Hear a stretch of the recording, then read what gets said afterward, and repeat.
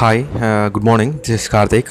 Uh, since uh, two months, I was uh, um, uh, learning this course. Before that, I was working in a telecommunication as a dev test engineer. So I moved from there to this uh, ServiceNow. So the ServiceNow is a very demand course. So uh, from two months, I was jo- I joined here. I completed my course at also, and uh, the lab faculty also very good. Uh,